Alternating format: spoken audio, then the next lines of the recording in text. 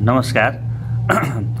सबभन्दा पहिला त अमेरिका नेपाल साहित्य प्रतिष्ठानको तर्फबाट यहाँलाई हार्दिक स्वागत छ र नियात्रा समाजको अध्यक्षको रूपमा यहाँले आफ्नो यो अमेरिका भ्रमण चाहिँ कसरी हेरिराख्नु भएको छ छोटो बताइदिनुहोस् न।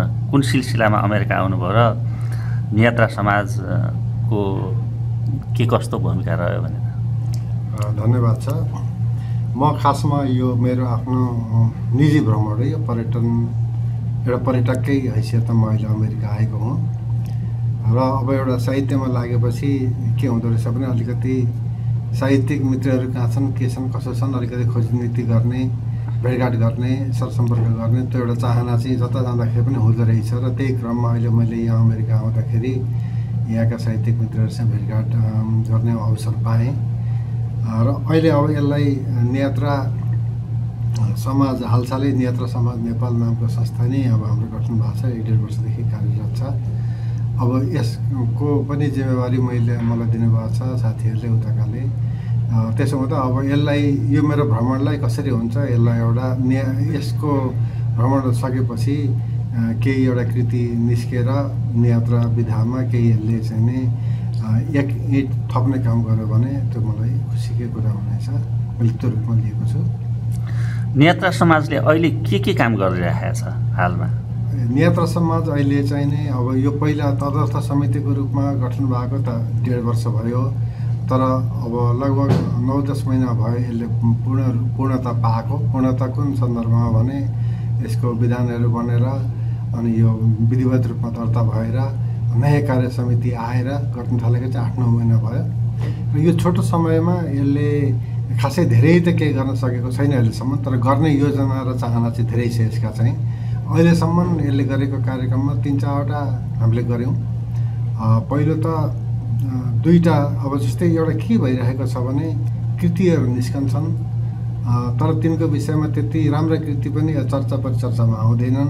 चर्चा परिचर्चामा आइहाल्यो भने पनि पाठकको हातमा पुग्दैनन् बिक्री वितरणमा ती जाँदैनन्। ती कमर्सियल हिसाबले चलाएका अब त्यो प्रकाशकहरूले अब भनौँ अरू जुन चिजमा बढी फाइदा हुन्छ ती चिजमा भन्दा यिनमा अलि सायद कम फाइदा हुन्छ साहित्यिक पत्रिका किताबहरूको बिक्री वितरणमा। त्यसो भएको हुनाले अलिक ओझेलमा पर्छन् पाठ्य पुस्तक जस्तो चाँडो चाँडो बिग्दैनन्।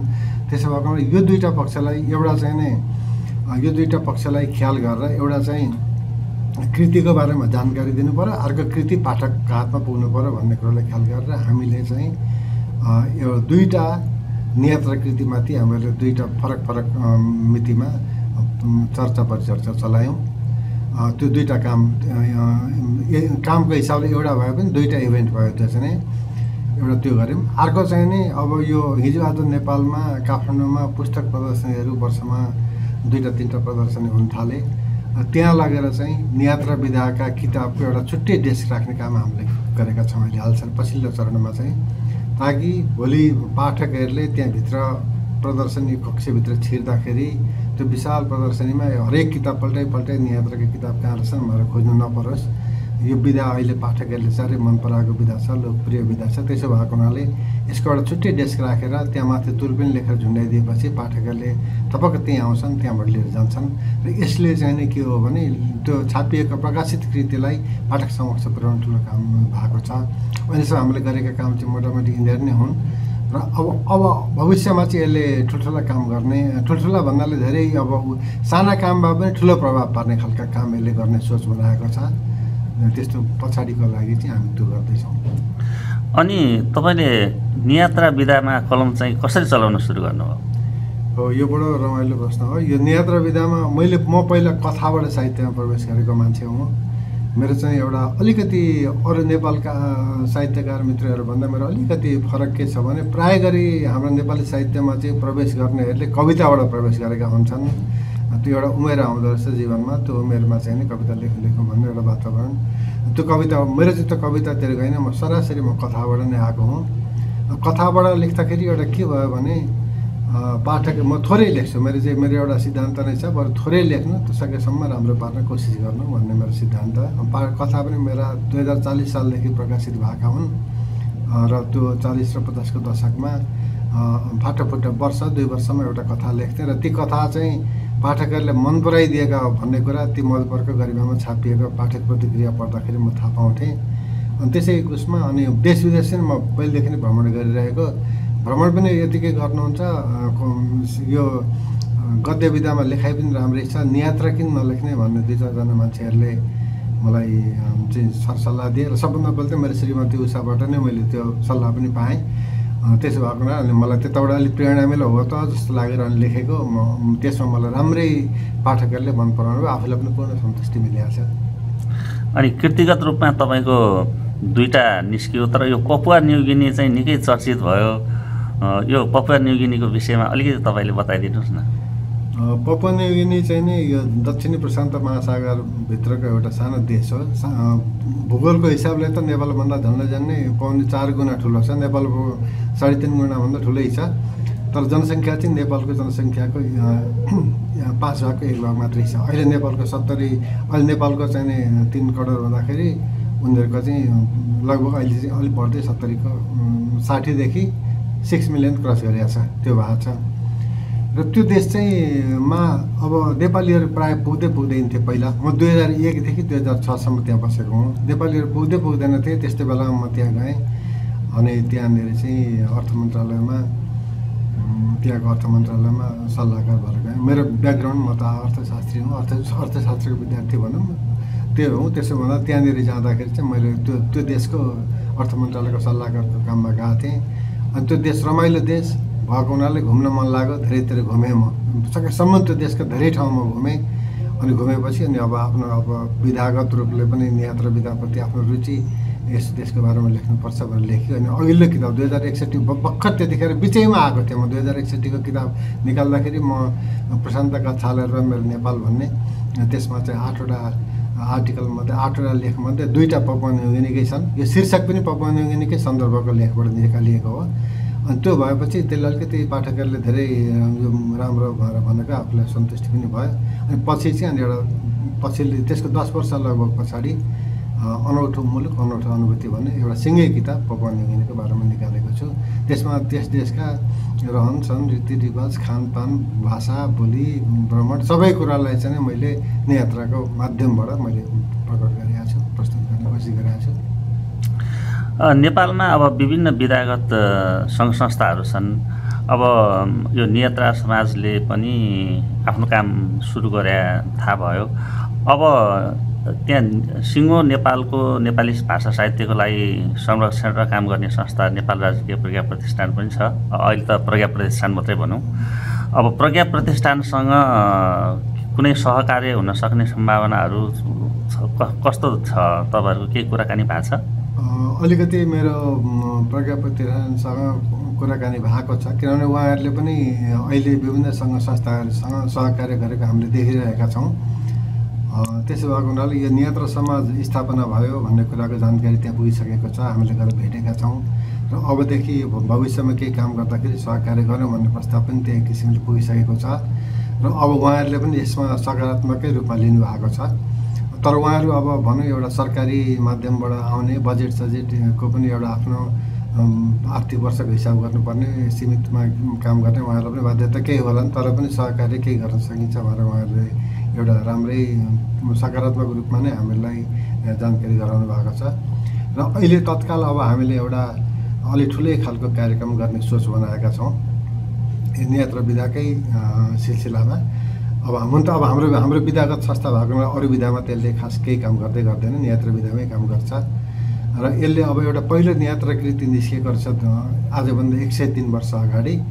त्यो कृतिकोलाई अगाडि राखेर नियात्र विधाको प्रथम पुस्- पुस्तकाकार कृति प्रकाशित भएको शतवार्षिकी हुन त एक सय तिन वर्ष भइसक्यो तर पनि शतवार्षिकी हामी मनाउने सोच बनाएका छौँ। र त्यसमा चाहिँ एकाडेमीको सहयोग यो सहकार्य होस् भन्ने हाम्रो चाहना छ। उहाँहरूको उहाँहरू समक्ष यो कुरो पुगिसकेको छ।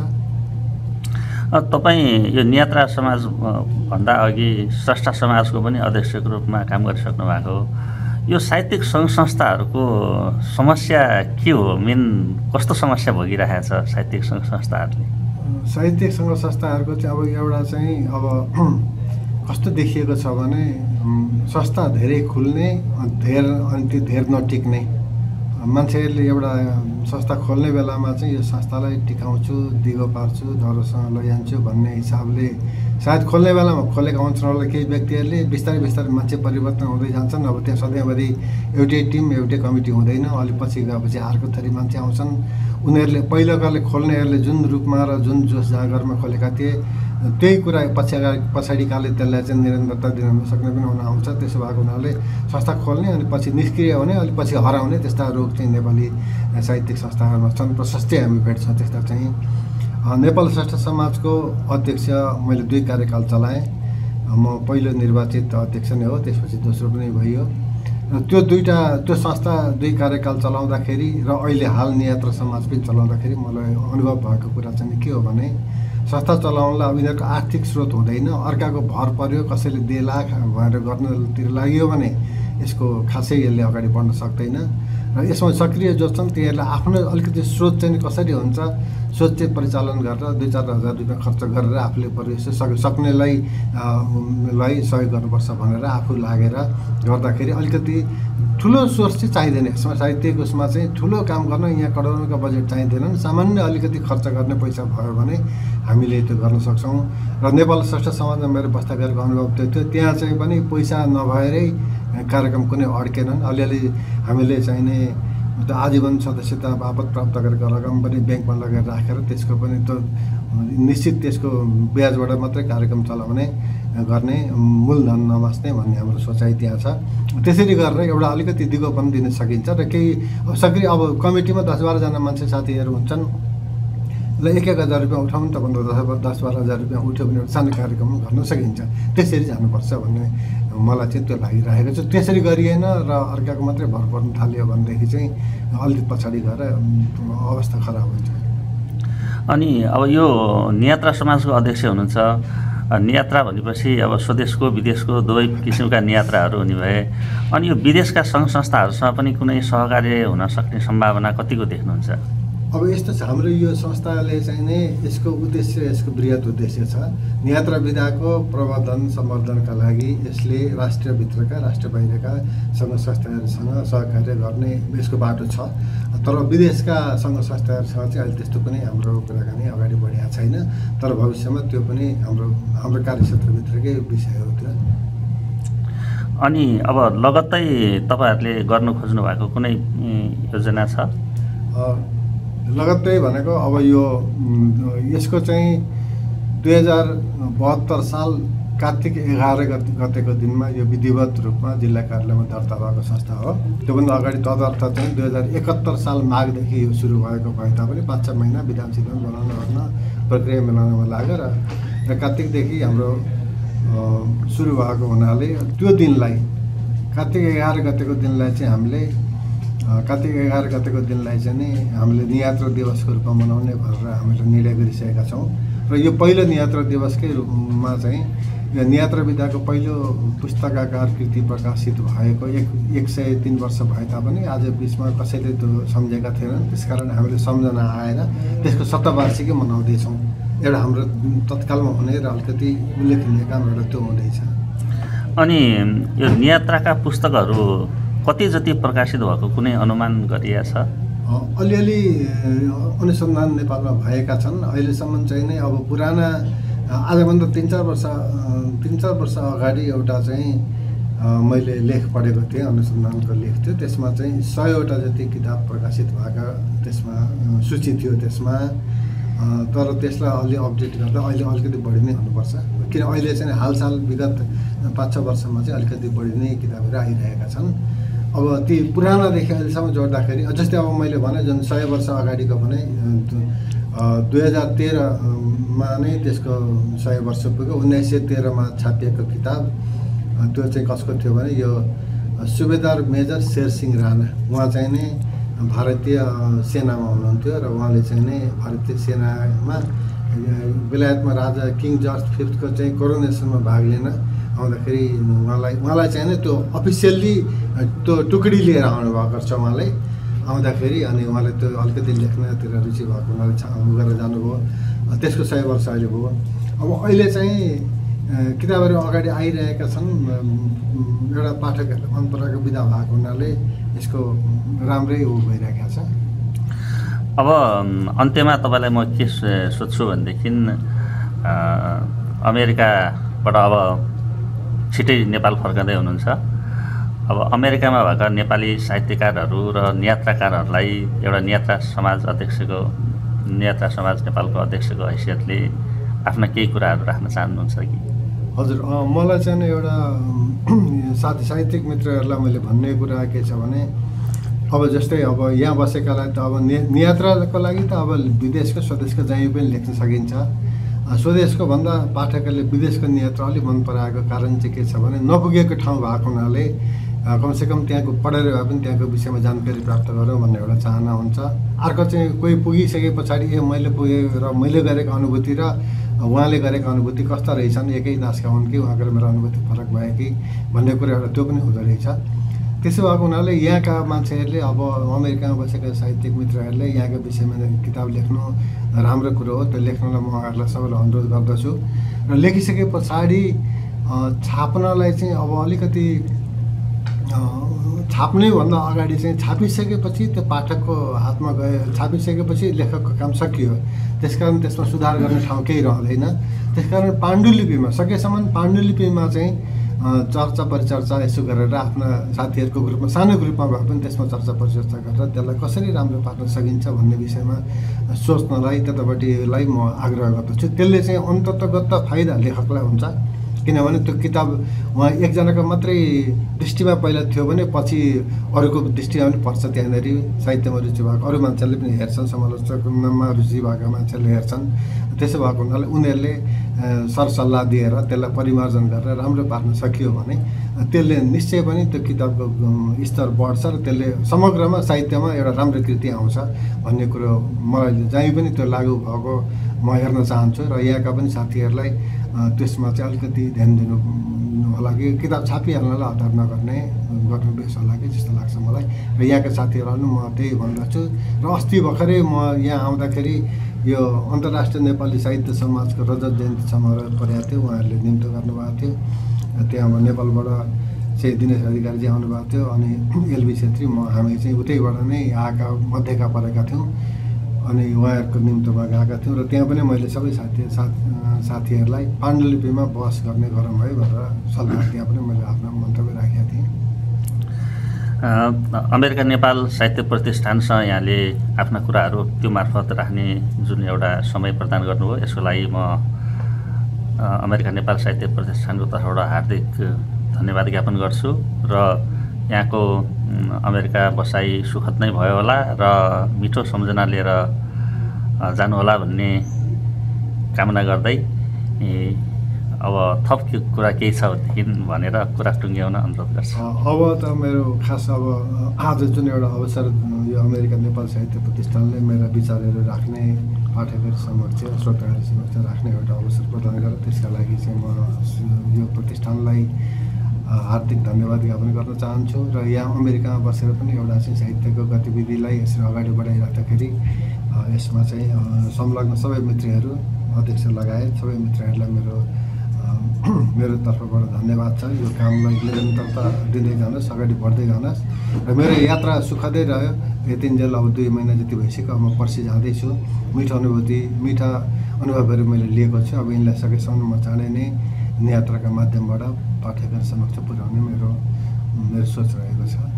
र आज यो कार्यक्रमको लागि मलाई अवसरको लागि म धन्यवाद ज्ञापन गर्छु